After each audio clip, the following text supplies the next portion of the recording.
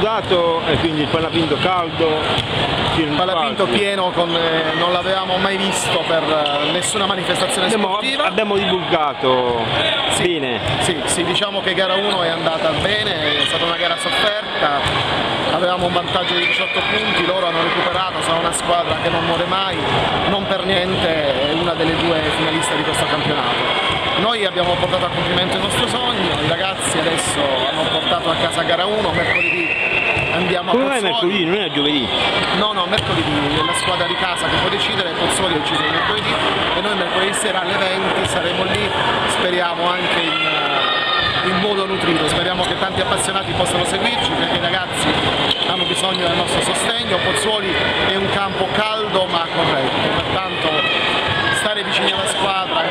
sentire protetti è molto importante. Per È me. inutile nascondere che noi speriamo di chiudere 2-0 e domenica prossima di poter fare una grande festa. Premesso che Pozzuoli sta su Vialore di Pozzuoli, quindi. È vero, è vero, il paese di Sofia Loren che è stata premiata quest'anno a Cannes.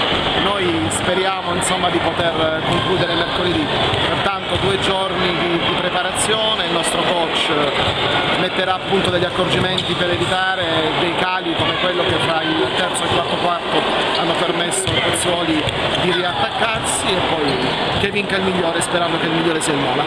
Grazie.